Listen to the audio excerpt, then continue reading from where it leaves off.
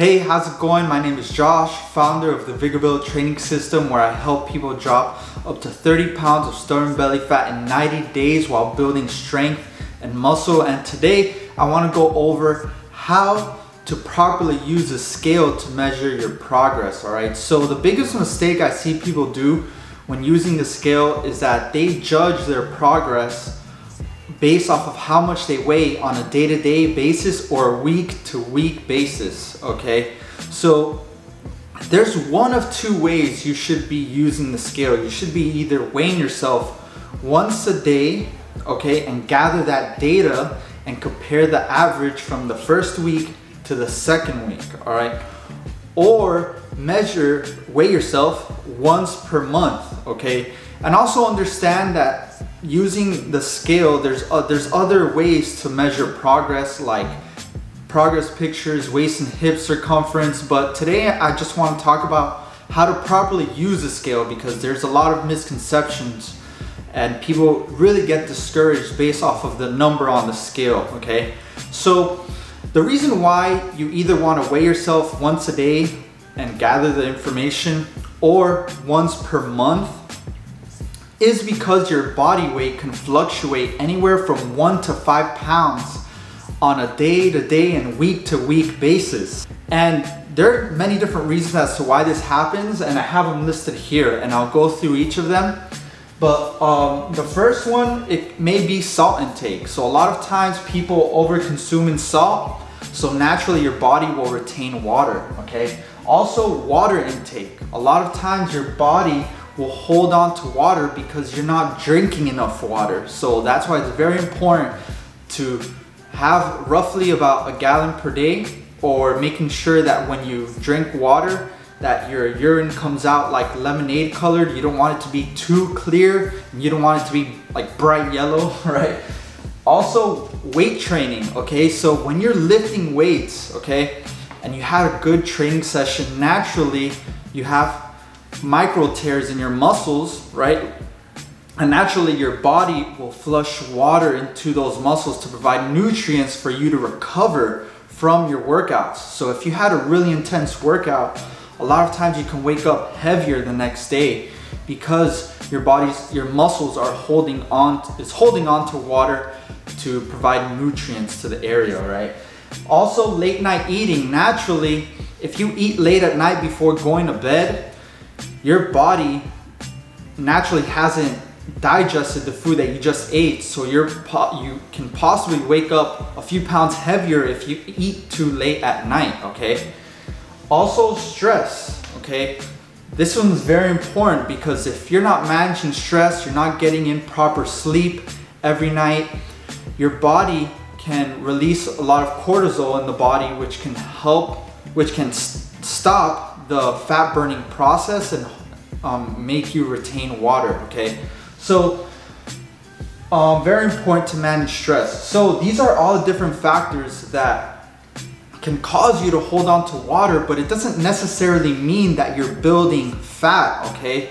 As long as you're consistent with your training and your nutrition, you should see the overall trend to go down. So how should you properly use a scale? I'm gonna give you a quick example of how the scale can go wrong, okay, and how can how it can trick you from uh, making you think that you're not making progress, okay?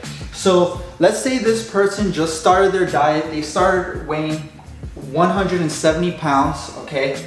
And this is their first week of training, okay? And throughout the week, the scale is going down right? And then if we get the average of the seven days, he weighs 169. But let's say on Saturday or Sunday, he um, ate something that had a little bit too much salt. He comes back on Monday to weigh himself, okay?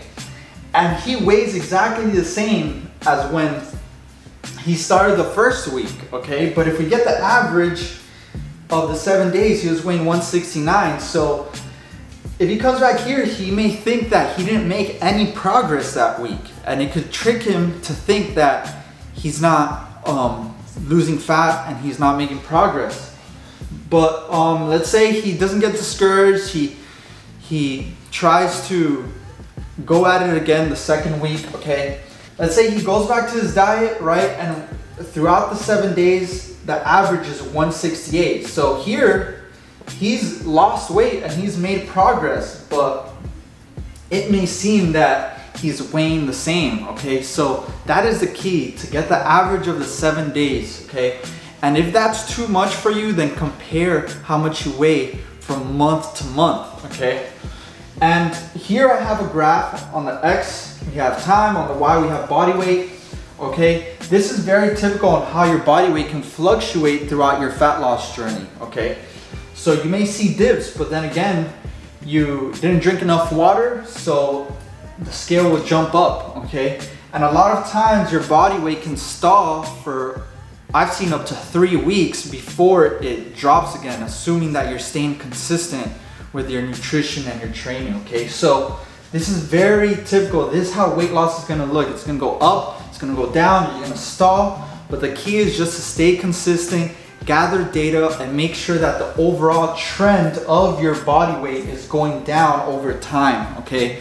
So really cool apps that you can download in order to see, track your body weight and to see if you're heading towards the right direction is an app called Happy Scale. Okay, Happy Scale is a really good app because when you track your body weight every day, it shows you the overall trend. Another really good app is MyFitnessPal, right? Because not only can you track your nutrition and your calories, but you can also um, track your body weight and how the, that, that set amount of calories that you're eating correlates to your progress and, and, how much progress you're making, all right? And again, the scale is not the only tool that you should be using to measure progress. You should be using progress pictures. You can use waist and hip circumference. This is just the proper way to use a scale, okay? Either weigh yourself every day, gather that data, compare the average of the seven days, or weigh yourself once a month to see how you compare from a month to month basis, okay? And I hope this was helpful, guys. If you don't know how many calories you should eat, then check out the video down below. I talk about how you can calculate your calories using a TDEE calculator, all right? But hope this was helpful, guys. If you're looking to drop up to 30 pounds of stubborn belly fat in 90 days, then message me down below and comment 30 pounds and I'll give you more information on the Vigor Build training system where I'll create a done for you meal plan and I'll create a custom workout program either at home or in the gym to make sure that you're burning fat, building muscle, and you'll also have full access to me so I can answer all your questions to make sure that you break through any roadblocks that you may experience throughout your 90 day transformation, all right? Hope this helps guys. Catch you guys later. Peace.